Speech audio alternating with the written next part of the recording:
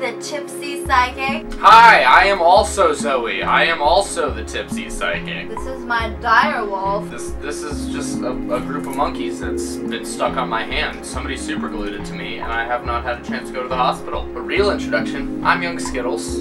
I am a a rapper. I know, impressive, right? Mm-hmm. Heavy sarcasm implied. So we got something special for you today. I'm trying to Professionalism at its finest. He thinks I'm a professional. I don't. Why do you have such high expectations of me?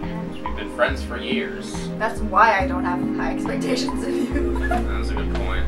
so, uh, we are going to do nipple fortune telling. Yay! Yay, right?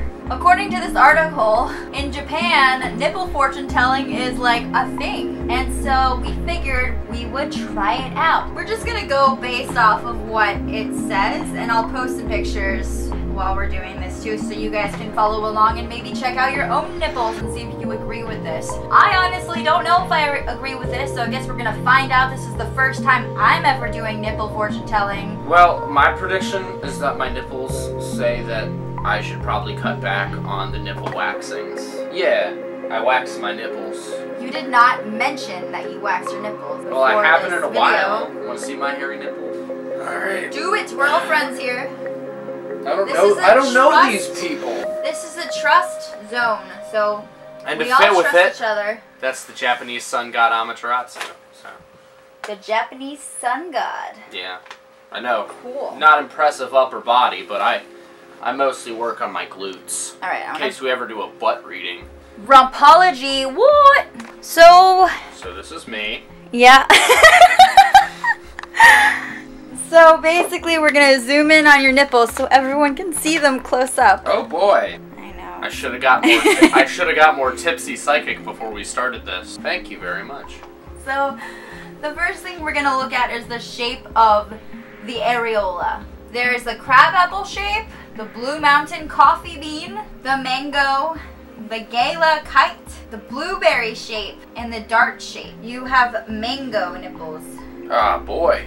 It's because of the mango margarita I drank last night. I know it. Yeah. Got a Okay. flex for YouTube. Do it, do it again. So, I think you have the mango, which means you are a hard worker, you enjoy your family, and are compassionate. Well, that's a lie, because I hate my family. But I am very compassionate, not towards my family.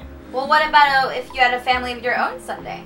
Yeah, as long as my as long as my 13 year old son and or daughter gets straight A's, I'll buy them alcohol. If you call that compassion. I call that being like a Terrible parent? Yeah. Terrible judgment. But at least I'm hardworking. That that one is that one is accurate. I'll post a link to this article if you want to find out what yours are.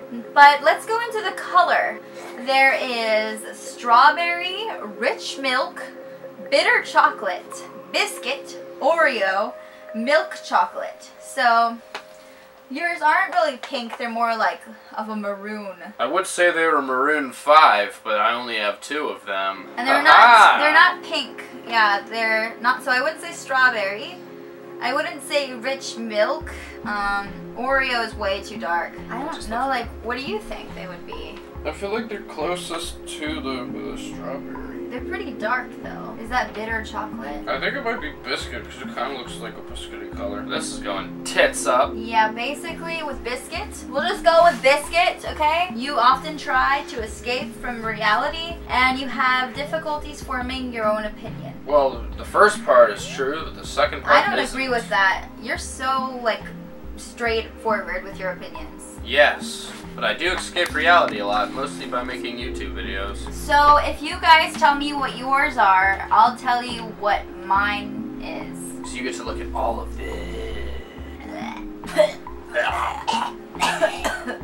Why am I here? Alright, now we're gonna do it on her. Do it. The nipple reading. Oh no, no, no, no. Basically, what we concluded is that this probably isn't very accurate. But It's somewhat, but not by much. yeah, I don't think I would go by this, guys. But maybe it works for some people. I mean, everyone uses a different form of divination, but for me, I definitely won't go by nipple readings, you know? Anyway, I'll post all this information below so you can check out what your nipples mean. That cord was really cold. Why did I put that on my nipple? And uh, we're gonna see some more videos with our friend Andrew here. That's me. Young Skittle. Young Skittles in the flesh. Yeah. Flesh. Literally. Literally. In the flesh! And Okay, put your shirt back on. I don't know where to put it. Subscribe to my channel if you like this video. Or if you like my nipples. Either one. Goodbye. Hey, stop looking.